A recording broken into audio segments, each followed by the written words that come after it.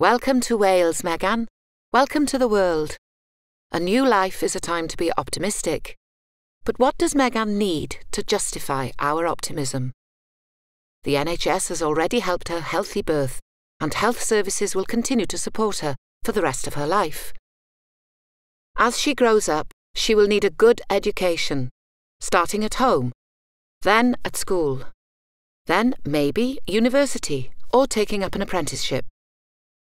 Megan will also need a good job where she's happy and prosperous. If Megan is to succeed, whatever her background or circumstances, she'll need to live in a more equal Wales. She'll need to live in a community that has everything she needs to thrive and prosper. For Megan to be happy in her community, it will need to be attractive, safe, and supportive. She may enjoy visiting museums, watching a film, a local show, dancing, or other art. As a Welsh speaker, she'll want to do so bilingually. She'll be proud of her heritage. Whether it's simply getting to school, work, or the shops, she'll need to be physically active throughout her life to keep well. And she'll need to live in a community that promotes good health. Megan will also need fresh water, clean air, and healthy food. This means maintaining our beautiful environment and using our natural resources in a sustainable way. Growing up, Megan learned more about the planet and the importance of being a responsible global citizen. So, over her life, Megan has many needs. The good news is that these needs can be met. However, there are a few challenges in the way, such as poverty, an increasingly global economy, an ageing population, poor health, and the inequality of health between people, climate change, and pressures on our natural resources, and rising demand for quality public services. We know that we cannot face these challenges by doing things the way we always have. We need to take a different path we have to live and work differently. That's why we have a new law in Wales, the Wellbeing of Future Generations Act. It's unique in the world. As someone from the United Nations has said, what Wales is doing today, the world will do tomorrow.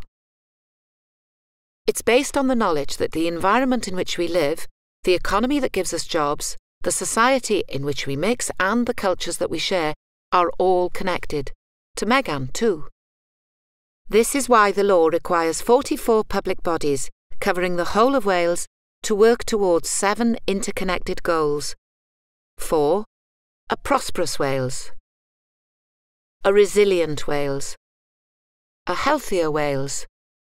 A more equal Wales. A Wales of cohesive communities.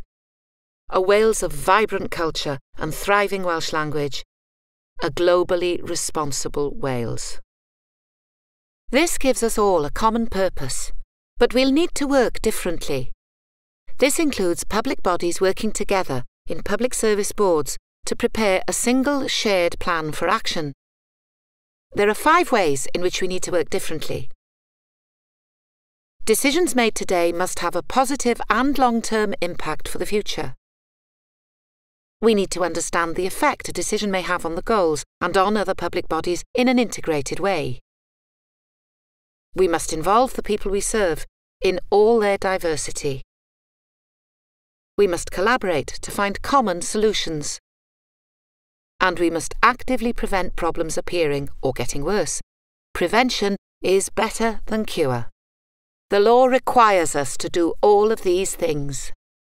This is a big change. But it's not just for public bodies. Businesses, the third sector, you and your community can also play an important part.